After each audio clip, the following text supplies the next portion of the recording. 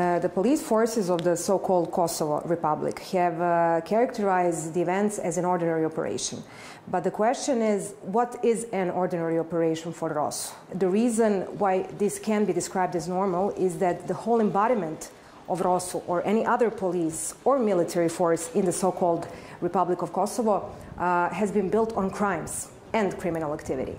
The ROSU uh, arrestments should, of course, be analyzed in the light of the special session on Kosovo and Metohija in the Serbian parliament. I don't think there is much hope Serbia will have a new policy or resolution on Kosovo and Metohija after this special session is over. Um, there is no democratic discussion in the Serbian parliament. The reason why this session is an historic one uh, is, um, I would say, change of tone used to describe Serbia's position on Kosovo and Metohija.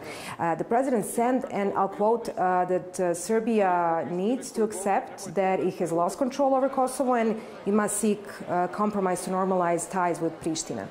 Um, this statement was followed by a few similar statements uh, in the same tone, which is the first time I think we hear the president speak of Kosovo and Metohija in this manner on a stage as important as Serbian parliament is.